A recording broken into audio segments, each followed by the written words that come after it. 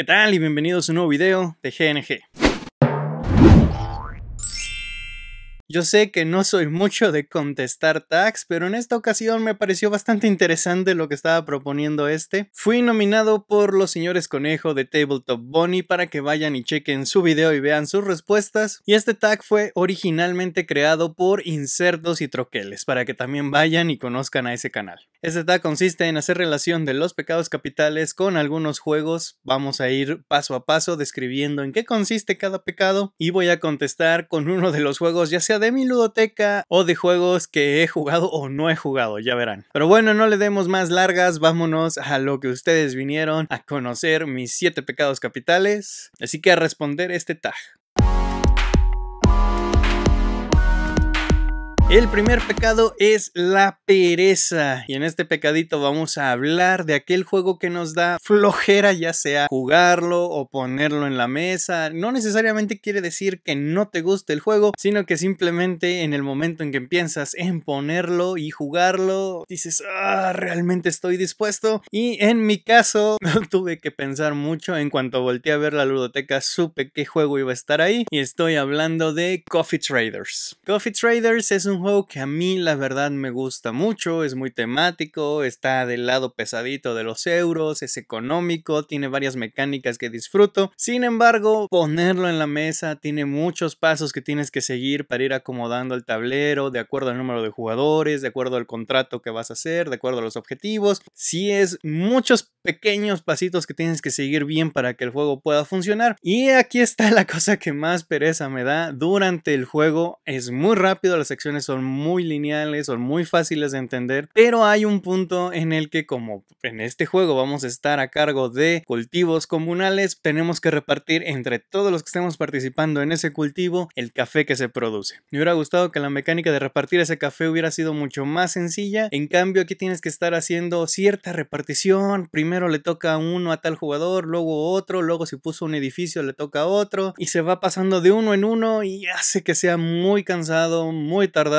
y hay varios cultivos que tienes que estar haciendo este procedimiento durante este paso. Sí me da mucha flojerita tener que hacerlo, así que si cuando lo jugamos alguien me ayuda con esa parte, yo encantado, pero me hubiera gustado que fuera más fácil de hacer, así el primer lugar se lleva tantos, el segundo lugar tantos, y fin. Ese es un pequeño pero que tengo con ese juego. Ahora nos vamos al pecado de la avaricia y en este caso vamos a hablar del juego al que más dinero le he invertido y creo que sin temor a equivocarme es Scythe. Scythe tengo la caja grande, tengo todas las expansiones, tengo todas las promos, tengo todos los dial de los jugadores para hacer el combate, tengo las monedas mecánicas, los recursos de lujo, también la extensión de tablero, el tablero modular. Es más, tengo hasta el libro de arte de Scythe. Scythe es un juego que me gusta muchísimo, lo tengo todo en la cajota. Lo único que me falta de Scythe es el tablero de neopreno, pero la verdad ese playmat no lo voy a estar usando ya que no es compatible con el tablero modular que me gusta jugar mucho con él, en especial cuando hay menos de cuatro jugadores y cuando hay cuatro jugadores o más prefiero usar el tablero gigante. Y también no tengo los mechs de metal porque si iba a conseguir uno de cada uno iba a querer tener los cuatro metálicos y eso era demasiado dinero ya.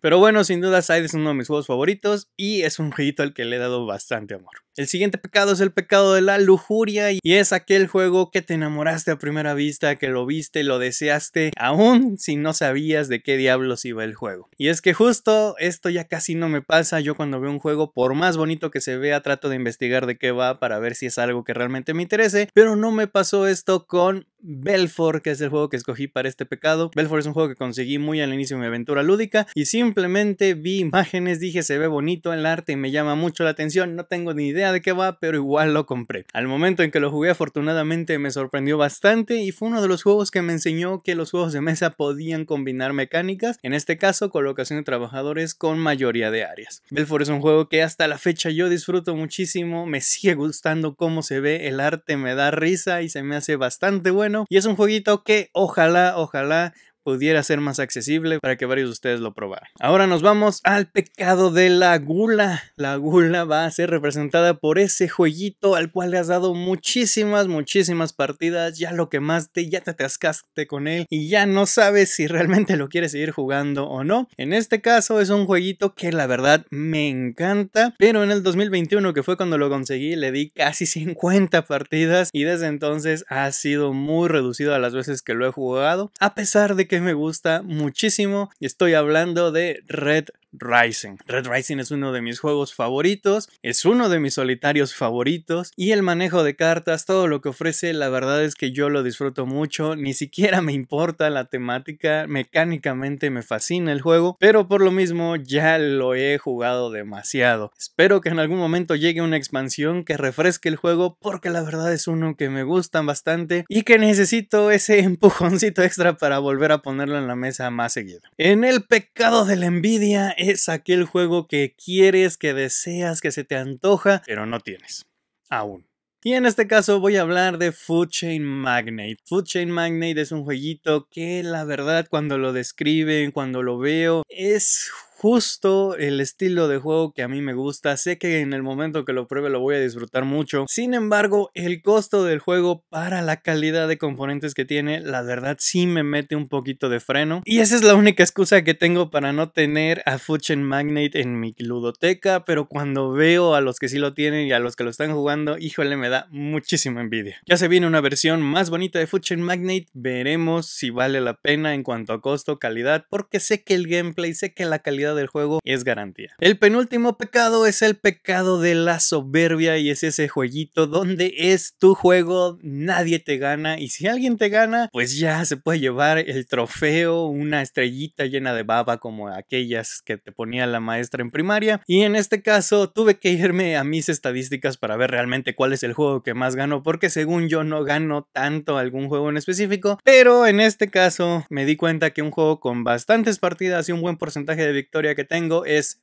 Three Sisters. Three Sisters me gusta mucho y recordando las partidas que he tenido con varias personas, sí, en efecto, suelo ganar. Quiero decir que soy bueno en este juego, probablemente alguien que sí realmente lo sea me patea el trasero en cuanto lo juguemos, pero Three Sisters es un jueguito que yo disfruto mucho, es un roll and bright con muchísima toma de decisión. Three Sisters es un jueguito pesado para hacer roll and bright y es precisamente eso lo que me llamó la atención y lo que acabé disfrutando mucho del juego, la posibilidad de hacer varios combos, descubrir cuál es la mejor estrategia, no descuidar el jardín, buscar las diferentes combinaciones de combos y ver cuál es la que más puntos te da. Es un jueguito que me gusta mucho explorar y que cada vez que lo juego me gusta más y más. Y de igual forma, cada vez que lo juego normalmente lo gano. Por ahí hay algunas derrotas que he tenido, pero ya me cobraré venganza. Y finalmente, el último pecado, el pecado de la ira. Aquel juego que normalmente cuando lo juegas acabas frustrado, acabas enojado o hay algo que simplemente te triggerea de ese juego. Y en mi caso es Seven Wonders Duel. Para los que ya vieron el video de No eres tú, soy yo, donde hay juegos muy buenos que la verdad a mí no me gustan, ya saben por qué este jueguito está en este pecado en específico. Pero para quienes no hayan visto ese video, déjenme contarles que Seven Wonders Duel me gusta mecánicamente todo lo que propone con excepción de una cosa. Y lamentablemente es la mecánica que le da el corazón al juego y es que vas a hacer un draft abierto entre las dos personas, vas a escoger una carta, la vas a tomar y esa carta va a liberar más cartas dándole la vuelta. Hay veces que no tienes ninguna buena opción, vas y tomas la carta y revelas cartas que son muy buenas para tu oponente y que sabes que ya no vas a ver. Esa partecita donde a veces te quedas sin buenas opciones entre comillas y le das muchísimo mejores opciones al oponente, es lo que siempre, siempre que lo juego, acabo frustrado, acabo enojado con ese jueguito. Me duele porque sé que de otra forma es un juego que yo disfrutaría bastante, sé que a mucha gente le gusta el juego y reconozco que es un muy, muy buen juego, pero la verdad mi tolerancia a la frustración con ese juego en particular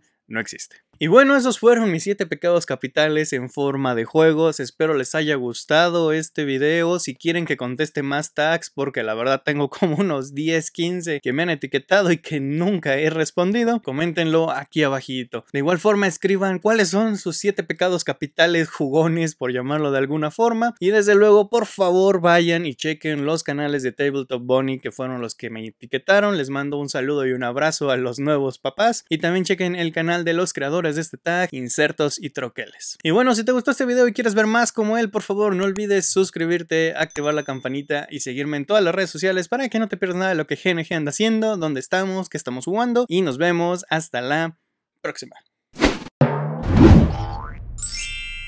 Y ya se me andaba olvidando, les digo que normalmente no hago este tipo de videos, en los tags hay que nominar a alguien al final, así que me voy a aprovechar y abusar de la confianza de que conozco a esta persona. Rob the Boardies, ahí te va el desafío, vamos a ver cuáles son tus 7 pecados capitales.